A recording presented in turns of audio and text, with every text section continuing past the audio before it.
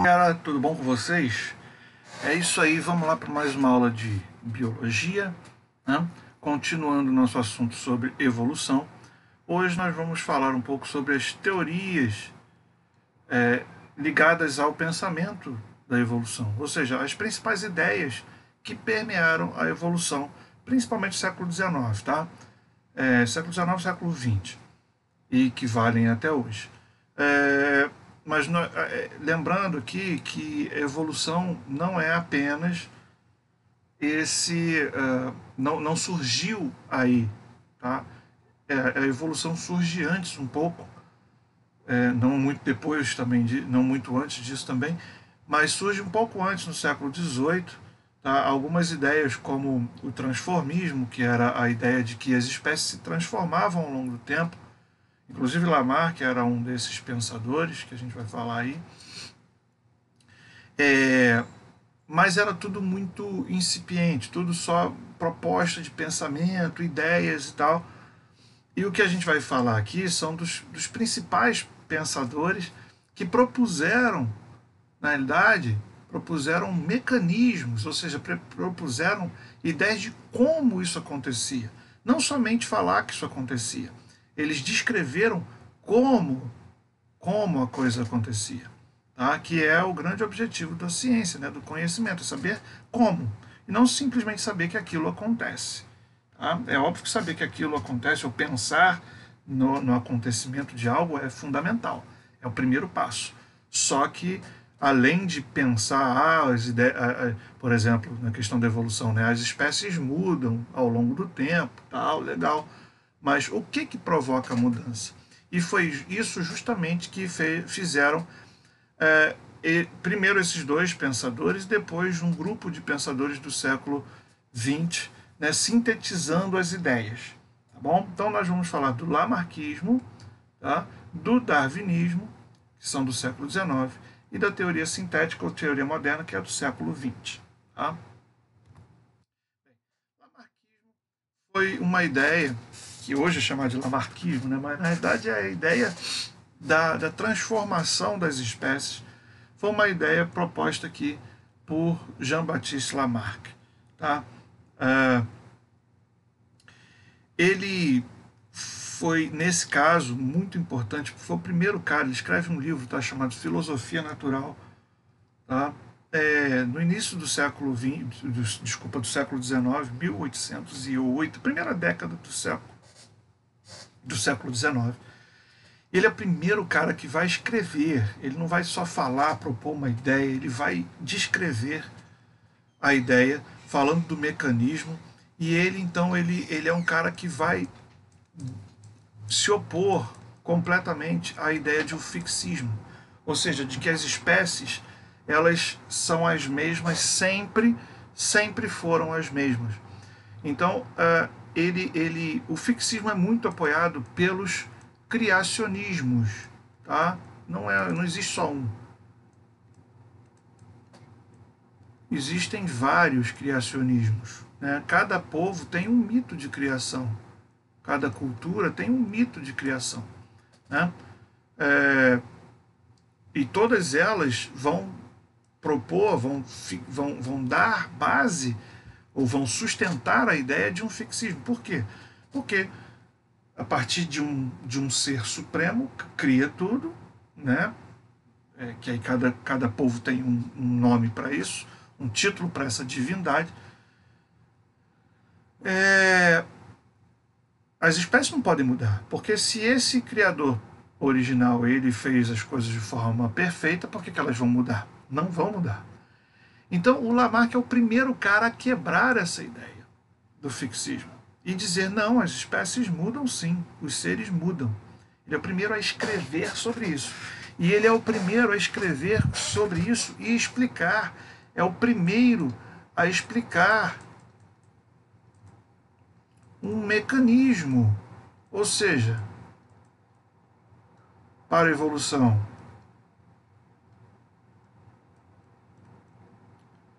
Ou seja, ele não, ele não só falava que ah, é, é, é, as, as espécies mudam, não, ele falava as espécies mudam por conta disso. Ok, gente? Então é isso aí. Então a gente vai falar é, é, é, dessas leis, desses mecanismos que ele propõe. Bem, primeiro mecanismo é a lei do uso e desuso. E o que, que ela diz? Ela diz que se quanto mais uma parte do corpo, um órgão, uma estrutura, um tecido é usado, mais ele se desenvolve. Se ele deixa de ser usado, o contrário disso, ele vai se atrofiar. Tá? Isso parece muito importante, né? Parece, eu vou para academia, eu vou fazer exercício, eu vou ficar musculoso. Eu vou para a praia, eu vou pegar sol, eu vou ficar com a pele mais escura, né? Enfim, e as coisas vão mudando a gente pode, uma coisa pode mudar, transformar, como era uma ideia do, dos transformistas da época. Né? Os transformismos, transformistas todos tinham essa mesma ideia de que as espécies sim se transformavam.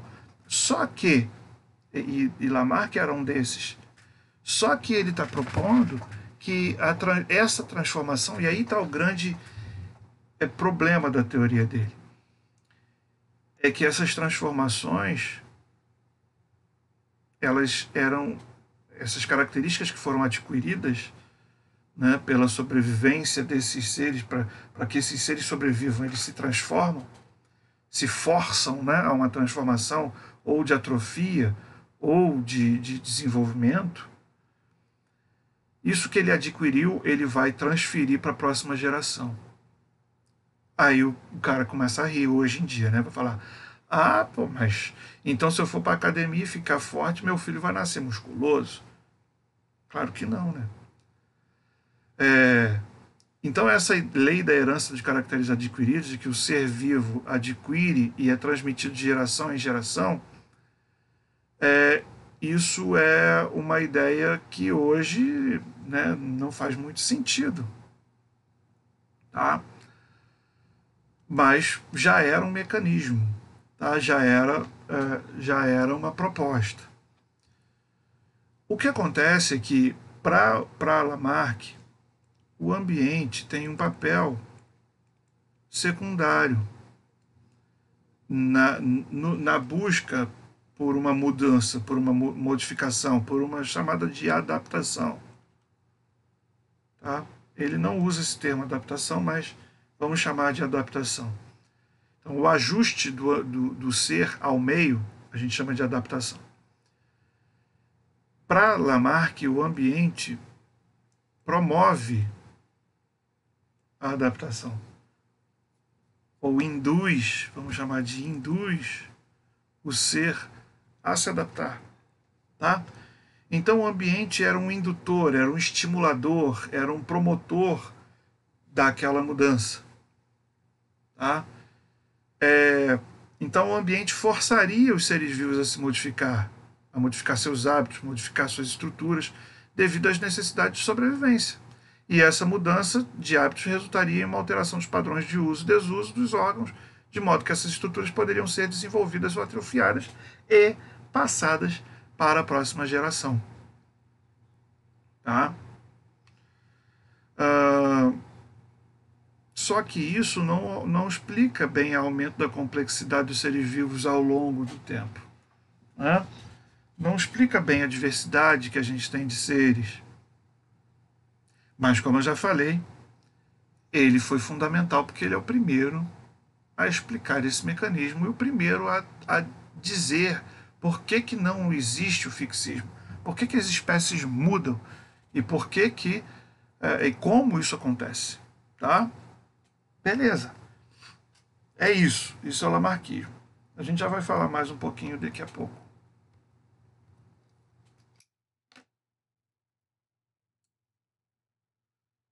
É... Bem.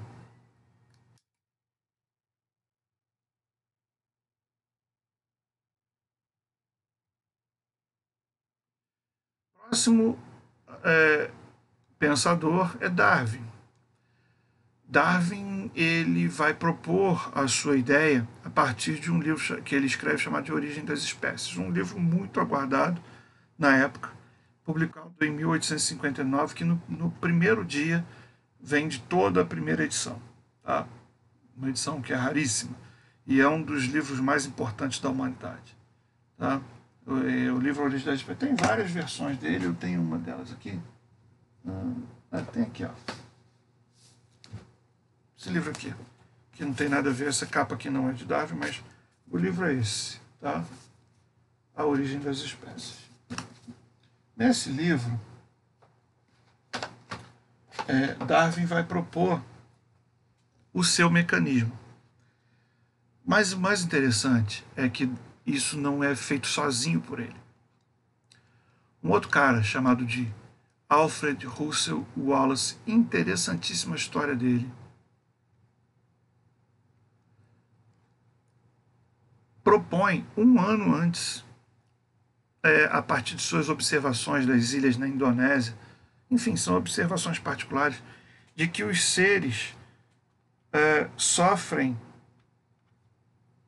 é, é, as alterações, as mudanças que ocorrem, são devidas a, a, a, ao ambiente. O ambiente, ele parece, para Wallace, ele dizia que o ambiente parecia que favorecia uns e em, em, em, em relação a outros seres. Favorecia umas espécies em relação a outras. Que é uma ideia muito próxima do que Darwin vai falar, só que Darwin vai falar isso mais ajustado para uma mesma espécie. Tá? Mostrando para Darwin é, que é, a, a ideia é de uma origem de espécies a partir de uma única. As espécies vão é, é, dando origem a novas espécies, sempre. Bem, hoje nós falamos, chamamos essa teoria de, de teoria de Darwin-Wallace. Tá? Hoje ambos são reconhecidos por seu igual papel nesse processo, porque o Wallace descreve primeiro, mas não, não dá nome ao mecanismo. Ele simplesmente escreve um artigo pequeno, né, um artigo curto, como típico da época, facilmente se encontrado, encontrado esse artigo na internet. E é, é, e um ano antes e manda para a Academia Linneana, na Inglaterra, e o Darwin é um dos que lê. Estimulados pelo amigo, né, Darwin tinha um amigo chamado Liel, que era da academia também, ele fala, olha, é melhor você escrever logo, porque parece que a sua ideia já está sendo vista aí. Darwin já estava trabalhando nessa ideia há 30 anos. Tá? Então, ele publica em 59, um ano depois, mas ele já vinha trabalhando essa ideia há 30 anos. Tá? Ele estava fazendo muito experimento para não. Porque era, é, ele, tinha, ele tinha noção do tamanho da revolução que ele ia causar. Tá? Ele tinha noção. E ele causa uma revolução, inclusive, na sociedade é, gigantesca. Hoje você faz processos de seleção por causa de Darwin. Né? A gente trabalha aí, a gente faz, é, a gente vê jogos, né, seleções sendo montadas. E esse nome ele é usado na sociologia a partir do momento que Darwin da, de, é, descreve esse mecanismo. Tá? Bem, como é que ele chega à ideia de seleção natural, que é o mecanismo que ele propõe? Eu vou explicar ele chega a partir de algumas conclusões. Ele, observando, tá, ele dá uma volta ao mundo, inclusive esteve no Brasil, né, esteve no Nordeste, esteve no Rio de Janeiro, esteve no sul do país, na época da sua viagem, né, 30 anos antes desse livro. E, e, aqui foi um lugar onde ele descreve algumas espécies, por exemplo, a ema do sul, uma descrição dele. Uh, e, e, ele era um naturalista, sim, tá? que, que era bastante sagaz, principalmente é, na geologia do processo. Mas vamos lá. Nas suas observações, ele vê que todos os seres vivos apresentam uma elevada capacidade reprodutiva, ou seja, tem muitos filhotes. Todas as espécies têm muitos filhotes. Mas, contudo, entretanto, ele verifica que o número de indivíduos de uma mesma espécie permanece constante ao longo do tempo. É óbvio que um ano pode ter muito mais, outro ano ter menos, mas ao longo de uma série de medidas, você vai ver que uma espécie tem mais ou menos o mesmo número de indivíduos ao longo do tempo. Isso é explicado pela grande mortalidade. E aí ele tinha a leitura de um cara chamado de Thomas Malthus. Então ele pega a ideia do malthusianismo e transfere para as suas ideias. Ele diz que essa mortalidade decorre da falta de alimentos, falta de recursos. Né? Da, é, Malthus fala isso, que é, é, a população iria entrar num colapso por conta do, da falta de alimentos que iria ser gerada. Enquanto a população cresce né, de uma forma exponencial, o alimento cresce de uma forma é, é, menor, numa proporção menor. O que ele não levava em conta a tecnologia, obviamente. É, o que levaria a um caos né, à sociedade. Então, Darwin pega essa ideia de Malthus e coloca para os seres como um todo de que a alta mortalidade se dá por falta de recursos, falta de alimento, pois o suprimento alimentar para qualquer população não é ilimitado, ou seja, há um limite do ambiente em suportar aquele, é, aquele grupo, aquele tamanho de população.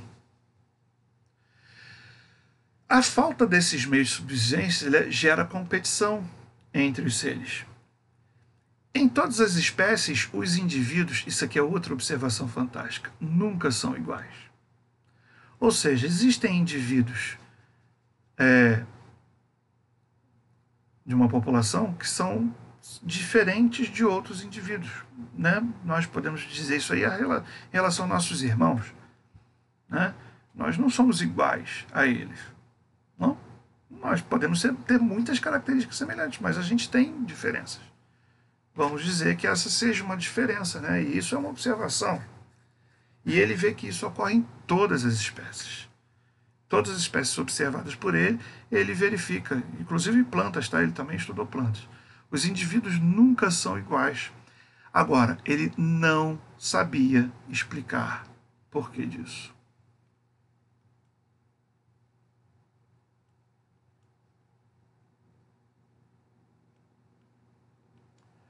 Ele não sabia o porquê. Tá? Não sabia. Inclusive, ele fala da, da, da lei da, da, do uso e desuso como uma das possíveis fontes de variação entre os seres. Tá? Lembrando, ele está aqui em 1859, não existia ainda o que a gente chama de genética, tá? que é o grande diferencial para a teoria sintética. Tá? A teoria sintética usa Darwin só que amplia Darwin com a ideia de genética. A gente já vai falar disso. Em determinado ambiente, então, os indivíduos dotados de variações favoráveis estarão mais capacitados a sobreviver do que os que possuem variações desfavoráveis. Então, os favoráveis se mantêm, sobrevivem e se reproduzem. Então, os, aquelas modificações favoráveis são transmitidas. E aí está o grande barato da ideia dele. Que aí sim, aí você tem. Porque o ambiente selecionou isso, ele tira da própria seleção artificial, que já era uma ideia tá, recorrente. Os humanos já faziam seleção de animais e plantas há milênios. As plantas domesticadas, né? Então os humanos já faziam isso, já faziam essa seleção. E aí ele pega e, opa, se o humano faz seleção e modifica as espécies para seu favor, o ambiente não faria a mesma coisa, só que não para a favor dele, e sim mantendo somente quem era capaz de sobreviver. Então o ambiente para Darwin, ele tem um papel fundamental e primário, básico, assim, é o alicerce, é o ambiente. As ideias de Darwin só funcionam se a gente relacionar o ambiente com a adaptação. Por quê? Adaptação. Por quê? Porque para Darwin o ambiente seleciona o indivíduo mais apto. Como ele teve essa adaptação, como ele é diferente, esse não ser igual aqui, ele chamava de variante. Tá? Como, como isso? Como se deu esse variante, ele não sabia explicar. Agora, ele sabia que esse variante, se ele fosse ajustado ao ambiente, se ele fosse mais ajustado, mais apto a sobreviver nesse ambiente, ele sobreviveria, ele seria selecionado por esse ambiente. Olha, então o ambiente passa a ter um papel fundamental na seleção dos indivíduos mais ajustados. Então esses indivíduos sobrevivem. Aí vamos fazer uma comparação entre Darwin e Lamarck, tá? Bem, essa ideia aqui da girafa, só vou explicar, ela está é, em todos os livros didáticos, todos falam dela, mas Lamarck e Darwin nunca usaram o exemplo da girafa. Tá? Até porque o mecanismo da girafa não é esse. E depois eu explico qual é o mecanismo que levou a girafa a ter um pescoço comprido. Para Lamarck, como Lamarck explicaria o, o, o, crescimento, o pescoço da girafa ser comprido? Ele, explicou, ele explicaria da seguinte forma. É, a girafa, é, a girafa é um bom exemplo porque todo mundo sabe o que é uma girafa, né? mesmo não, não não, não tendo visto, alguém não tendo visto, sabe que girafa é um bicho de pescoço comprido. E grande, né? Um bicho grande de pescoço comprido. A girafa que vive lá na África, ela teria indivíduos, né, todos de pescoço baixo, normal, e ela se alimentaria aqui de, do chão, das, das ervas aqui do chão. Só que essas ervas aqui tinham muitos seres que comiam essas ervas. E conforme foi acabando essas ervas, só sobravam as ervas mais do alto e elas começaram a esticar seus pescoços, buscando comer o que estava mais em cima. Com o passar do tempo, é, elas foram esticando esse pescoço. E aí chegaram um momento que elas pum, tinham um pescoço grandão. E elas passaram isso para a próxima geração, fazendo com que os filhotes nascessem com esse pescoço comprido. Tá? Então, o ambiente o ambiente. Então ele forçou, né? Força a adaptação. Como é que Darwin explicaria esse mecanismo? Darwin falaria o seguinte: olha, não sei porquê, pode até ser lei do uso desuso, tá? Ele inclusive cita isso, mas ele não sabia porquê. Existiam girafas de pescoço comprido e girafas de pescoço curto, tá? que acontece é que o alimento aqui embaixo acabou, segundo essa explicação. Acabou por competição, enfim. E aí, o que, que aconteceu? As girafas de pescoço maior conseguiam comer o alimento que estava aqui em cima, enquanto as girafas pequenas morriam. Então as girafas de pescoço pequeno morreram. Só sobreviveram as girafas com pescoço grande. Elas se reproduziram. E ao se reproduzir, as características do indivíduo, né, por reprodução, passam para o outro. Se ele tem aquela característica nele, ele não adquiriu essa característica, ele tem por si só, né, nasceu com elas, nasceu diferente. É, o que vai acontecer? Ele vai transmitir essa característica para os filhotes. E ao longo do tempo, cada vez mais esses filhotes se reproduzindo, sempre né, machos e fêmeas com pescoço comprido, acabaram que geraram uma geração aí de girafas de pescoço comprido. É óbvio que essa explicação, hoje, a gente sabe que não faz o menor sentido, tá? mas é só porque é didático, que mostra a diferença de Darwin para Lamarck. Tá? Então, aqui, o ambiente atuou adaptação, atuou selecionando selecionou, ou seja, o indivíduo de pescoço comprido morreu. Ele não esticou o pescoço, ele morreu. Ele não conseguiu sobreviver. Hoje a gente sabe que isso aqui, o pescoço comprido da girafa é, é uma seleção sexual, tá? As fêmeas, é, para ter um pescoço grandão, precisa ter um coração bom, uma saúde muito boa para sustentar esse cérebro lá em cima. E as fêmeas olham para isso e acham, poxa, esse macho, e principalmente o comportamento de corte, né? os machos conseguem é, é, chicotear muito mais uns aos outros, ou seja, ganhar, né, ter mais força com pescoços cada vez mais compridos. Então as fêmeas olham para opa, esse cara aí é capaz de, de, de, de manter aqui meus filhotes em segurança, porque ele tem esse pescoço e consegue golpear outros machos, enfim, é, expulsar indivíduos que não são muito é, bem quisto aqui. Então é seleção sexual. E, e as fêmeas elas acabam adquirindo esse pescoço comprido porque é uma característica que ah, é, acaba sobrando para elas, né? Porque todos os machos pescoço comprido, as fêmeas acabam nascendo. É igual mamilo para mamífero, né? Todas as fêmeas precisam amamentar, né? dos primatas, por exemplo. Então todas as fêmeas têm mamilo, então o macho também desenvolve mamilos. Né? Sobra nele, sobra para os machos mamilos, tá? Beleza? Bem, vamos lá. E qual é a próxima ideia? É a teoria moderna da evolução. E o que, que ela vai fazer? Nada demais. A gente também chama de teoria sintética. Ela usa as, a, o mesmo darwinismo, só que ela explica como surgem os diferentes. Com o advento da genética, se explicou como surgem os diferentes. Os diferentes, as variações em uma espécie, dependem de quê? De dois eventos: mutações, ou seja, alterações do código genético que fazem o indivíduo apresentar uma característica ou outra, e recombinações genéticas. Recombinações, né? É, é, isso acontece naturalmente quando vão se produzir gametas em animais, é, passa um processo chamado de permutação, tá? em que os cromossomos trocam partes, ou seja, há uma recombinação de genes, e também a recombinação de seres diferentes, né?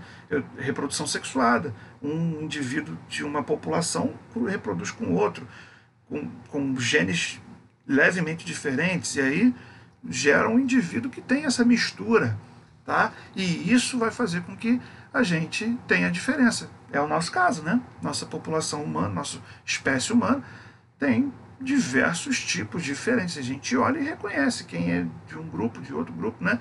De uma, de uma população original, de outra e isso está tudo misturado, aqui no Brasil principalmente, né? uma mistura grande, é, é uma recombinação, né? recombinações genéticas gigantes no Brasil. O que é importante, faz com que a gente se, passe bem pelos processos de seleção. Né? As mutações ocorrem ao acaso, isso, isso é, é notório, tá? elas são casuais, influenciadas por eventos na natureza, como substâncias tóxicas, radiação, mas ninguém controla a mutação, elas ocorrem. Tá? É, a luta pela vida dá-se entre os indivíduos e o meio ambiente, ou seja, o ambiente seleciona aqueles indivíduos que têm mutações favoráveis ou recombinações favoráveis. A, a luta pela vida resulta a seleção natural dos mais aptos ou mais ajustados, né, mais adaptados, não os melhores, tá? Nunca é o melhor, nunca é o mais forte. Não, são os mais ajustados. As condições, os mais adaptados. Então o ambiente atua ainda como selecionador, tá? É a mesma história de Darwin, só que agora a gente sabe como surgiram os diferentes. O isolamento geográfico ou sexual impede que as características do novo tipo misturem-se com características do tipo primitivo, fazendo com que novas espécies surjam no meio. Então, o surgimento de uma nova espécie é dada por mutações. Quando esses indivíduos é, só sobrevivem aqueles com mutações favoráveis, é, eles podem migrar para novas áreas e nessas novas áreas as mutações serem favoráveis ou não. E aí eles sobreviverem ou não nessas novas regiões. E, e, o fluxo de gene bloqueado impede a recombinação, fazendo com que, se, uma, se um mutante foi para uma área e o outro para outra área, e, e eles conseguiram sobreviver isolados nessas novas áreas, eles vão formar novas espécies e não vão conseguir voltar mais a se reproduzir, sendo indivíduos muito semelhantes, porém é, espécies diferentes que já não conseguem mais se reproduzir com o passar do tempo tá? com o isolamento reprodutivo. Beleza, gente? Então, essa é a teoria sintética, ela explica por que, que surgem os diferentes e o que, que mantém esses diferentes é, no ambiente, formando novas espécies. Beleza, galera? A gente vai depois estudar mais isso aí, vamos fazer exercícios, vou deixar aí na próxima aula para vocês, beleza? Valeu, aquele abraço, até a próxima.